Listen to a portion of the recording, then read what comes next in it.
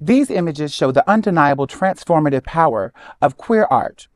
Art historian and curator Jonathan D. Katz delves into LGBTQ plus art's pivotal role in liberation in his new book, About Face, Stonewalled Revolt, and New Queer Art. This comprehensive exploration showcases over 350 artworks. Organized around five sections, the book navigates themes of transform, transfigure, transgress, transpose, and transcend.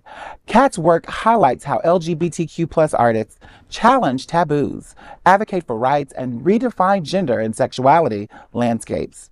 About Face offers a profound reflection on the ongoing revolution ignited by the Stonewall riots, capturing the essence of queer art's enduring impact on society.